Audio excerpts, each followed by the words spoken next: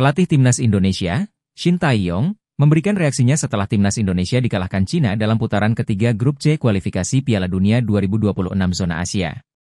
STY mengakui, Timnas Indonesia dan Cina memiliki keinginan kuat untuk memenangkan pertandingan.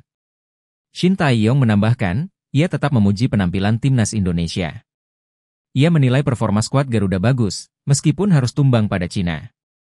Meski begitu, Shin Tae-yong menilai hasil laga ini bukan menjadi akhir dari perjuangan timnas Indonesia. Sebab Shin Tae-yong akan mengalihkan fokus dan melakukan persiapan pada laga selanjutnya.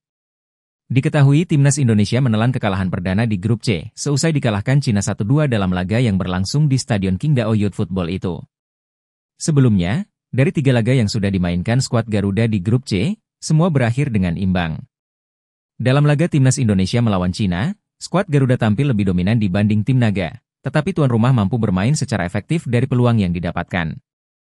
Indonesia akan memainkan dua laga selanjutnya di bulan November mendatang.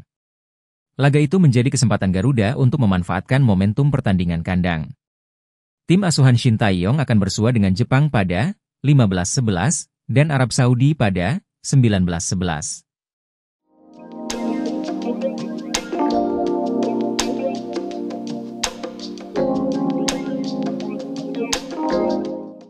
Download Tribun X sekarang.